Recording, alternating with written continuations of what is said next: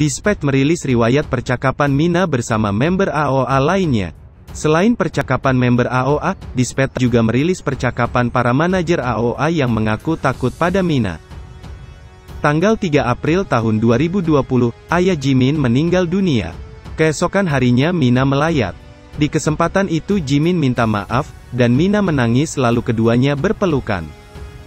Malam harinya Mina mengirim pesan ke Jimin yang berisi penyesalan Mina yang tidak mendekatkan diri pada Jimin dan lebih jujur dan ungkapan terima kasih karena sudah memeluknya.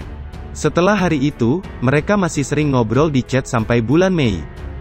Juli tahun 2020 Mina tiba-tiba curhat di SNS jadi korban dari Jimin. Jimin dan member AOA mendatangi Mina. Jimin meminta maaf pada Mina dan mendapat respon penolakan dari Mina. Di pertemuan itu Choa turut hadir sebagai penengah bersama Chanmi. Choa menutup pertemuan dengan meringkas semua member saling memaafkan karena kesalahan di masa lalu terjadi di saat jadwal sedang hektik dan member sensitif.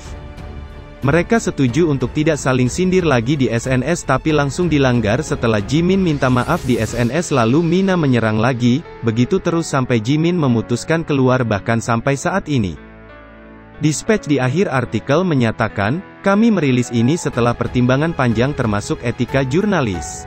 Masalah harus dilihat dari dua sisi agar publik tahu. Mina adalah korban Jimin, tapi Mina juga bisa jadi pelaku bagi orang lain.